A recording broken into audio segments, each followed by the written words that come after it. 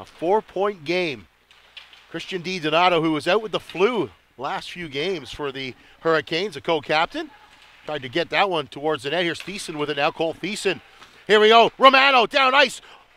Anthony Romano fakes. Oh, great little job there. Then the extra effort's tucked home on the doorstep. Zach Wilkie does the honors. Does a little fly past the Hurricanes bench there. Flinged, flung, pardon me, on the backhand towards the defense there as puck ping pongs a little bit. Here they come. Oh, big hit on Kostopoulos there. It's Thiessen was saying, how are you going to play a game without all your regulars in there? And that's because they had the flu. Even the coaching staff had a hard time, and they're okay now. Everybody's back, and oh, ho, ho, looking at the net. And there is Iarulo. Good pass down. Nice for Iarulo. Here he comes. He got some speed, but big fella McLean there as he tries to tuck this one home on the doorstep.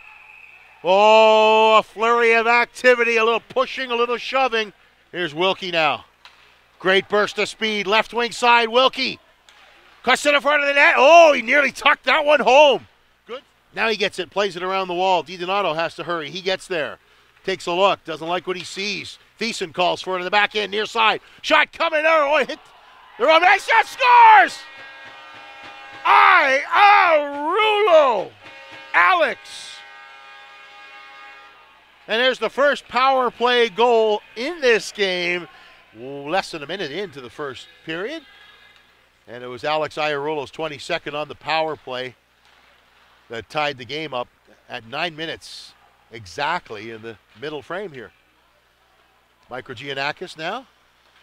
Too well covered. Now it hits the referee, and oh my! Referee has to signal it's a good goal. That's tucked home by Bricknell, was it? And Iarulo had it. He threw one right out into the slot area, praying for a similar colored sweater waiting there, but Tigers pounced on it. Couldn't really clear the zone cleanly. Here they come again. Oh, what a great pass that was! Oh, oh my! What do you know, Claudio?